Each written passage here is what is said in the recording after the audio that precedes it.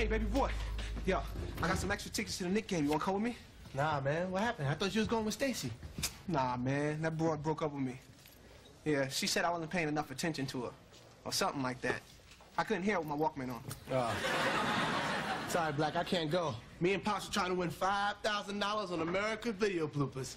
Five thousand dollars? $5,000. Hi, guys. Hey, what's up, D? Hey, what's up, D? Well, why don't you take D? I mean, ever since her and Lance broke up, she's been taking home a lot of do-it-yourself books. Good idea. All right. Hey, D. You wanna call me to the Knick game tonight? I got some extra tickets. I got really, really good seats. Right next to Woody Allen, Billy Crystal, Bryant Gumbel. You know, all the white people. Okay, but I have to warn you, the last time I went to Knicks game, I fainted. For what, hunger? Cause they ain't have your nacho. My nacho.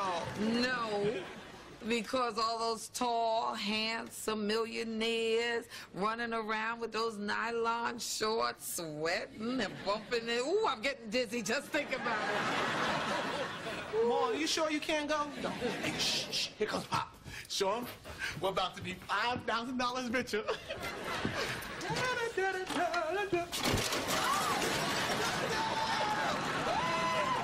Beat, oh, beat. I'm gonna kill you as soon as I uncross my eyes. I taped it.